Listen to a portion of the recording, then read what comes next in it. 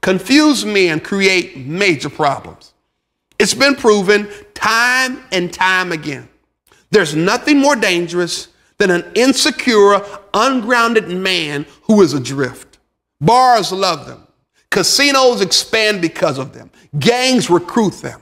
Prisons are full of them. Women and children suffer under them. Just watch the news or read the front pages. Almost every single social problem rests at the feet of men.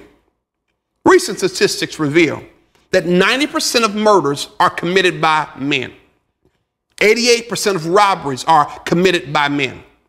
And 75% of all the people arrested are men.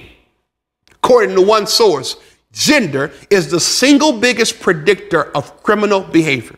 Men commit more crime and women commit less. This distinction holds throughout history for all societies, for all groups, and for nearly every crime category. The question you have to ask is what's wrong with us? We know the answer. Confused and isolated men with unresolved pain are destructive forces. Lonely and drifting men cause major problems. They inflict damage on themselves and cause damage to others.